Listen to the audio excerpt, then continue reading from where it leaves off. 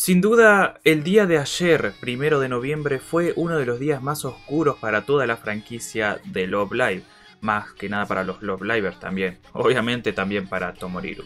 A día de hoy, después de 24 horas de haber conocido la noticia, puedo decir que me sigo sintiendo muy triste, más por ella que por mí, de hecho no, no es que te voy a extrañar mucho, no, sino que por ella, ella tiene 22 años y la enfermedad de Elter Danlos, Enter, no, Elter Dalos, Danlos, es eh, muy complicada de, de asimilar.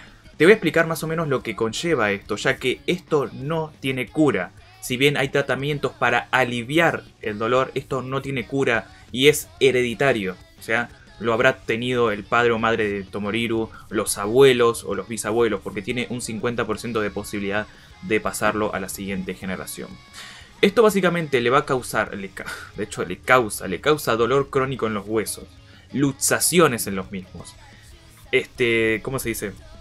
Mareos más que nada, problemas cardíacos, se puede decir que luxaciones también, esos son de los huesos, y esto es muy complicado de decir, pero ruptura y fragilidad también de los órganos internos.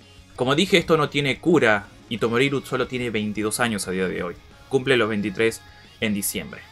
Y sin duda esto es muy triste para nosotros, que la vamos a extrañar como Setsuna Yuki, como para ella, como para sus familiares, como para sus amigos, para sus fans más que nada.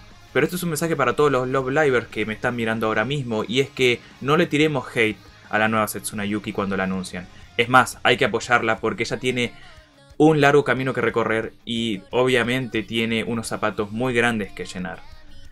Realmente a día de hoy no creo que lo vaya a superar esto porque es algo muy triste, es algo que me tomó por sorpresa, a todos nos tomó por sorpresa y simplemente desearle lo mejor a, a Tomoriru y que si va a seguir con la actuación de voz, apoyar a todos sus personajes, a ella misma en todo en todo lo que se pueda.